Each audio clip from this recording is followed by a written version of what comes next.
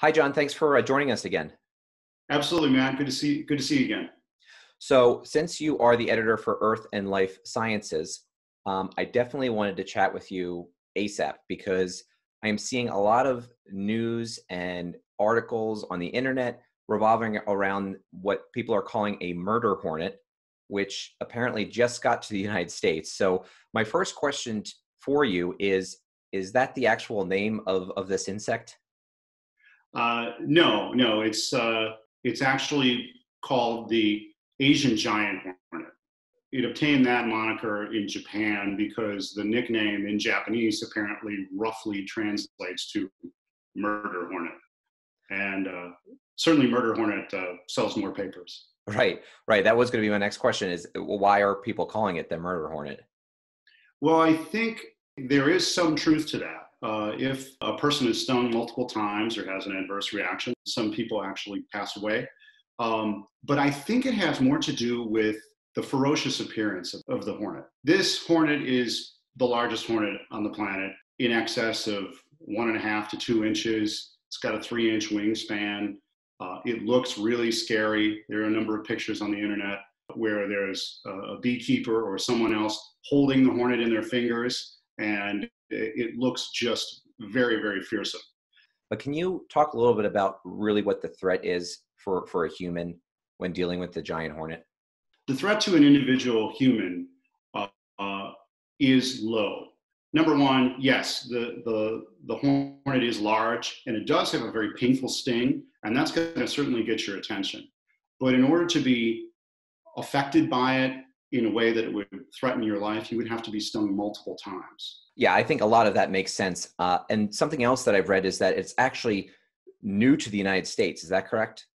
Uh, it seems to be new to the United States, uh, but it's unclear if the species has actually established itself.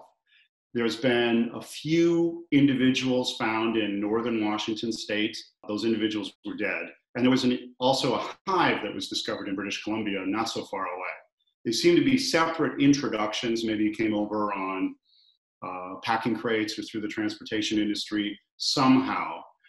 Um, but they seem to be new and they are they are scary at least to the agricultural community because of the impact that they may have on honeybee populations. The Asian giant hornet is a predator and its main prey are honeybees.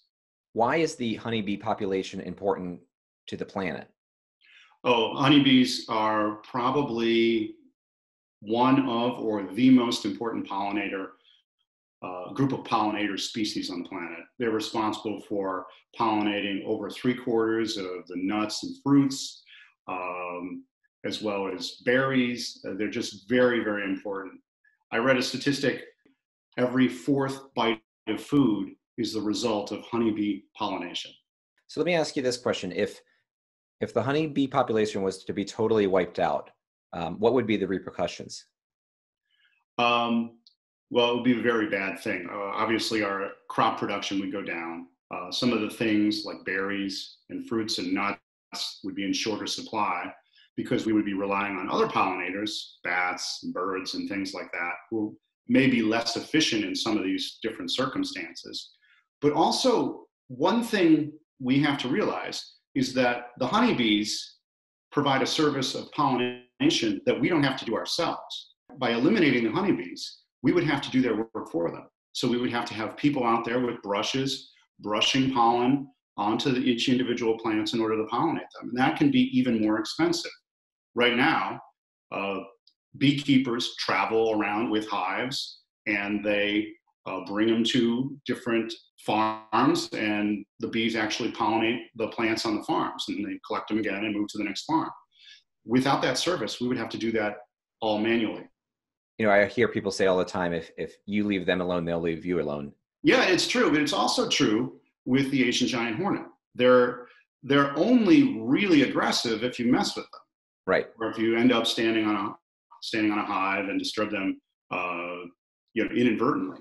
But those those cases are so rare, and I think uh, because of the hype surrounding this, ins- this this insect, we become more fearful and think that there's a greater risk than there actually is. And I mean, it is a scary looking insect. I mean, oh, sure is. The bee on its own, and spiders, and then you know regular hornets that we do have here in the United States, and then you're saying that this thing is two or three t- times the size of insects that we're already scared of is obviously just going to add on to the fear. But at the same time, you know, I do think it is if if it's bringing to light the issue of of the honeybee population and how important honeybees are to the planet and to us, um, that may be a positive that that we can take away from this. That is true. Any spotlight that we can provide on honeybees, but also insects in general. Insects around the world are facing declines in their, their populations because of pesticide use. There is a, uh, a topic that's out there called the insect apocalypse. We are seeing fewer insects in terms of overall numbers than we did back in 1970, perhaps half as many.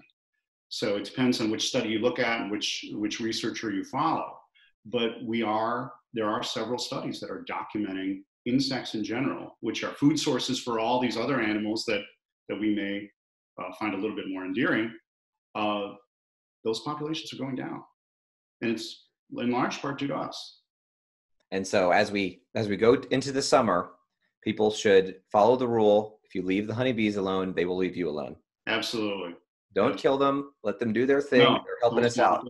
Create habitat for them in your backyard. Uh, native plants do well um, and lobby your elected representatives to impose stricter controls on pesticides.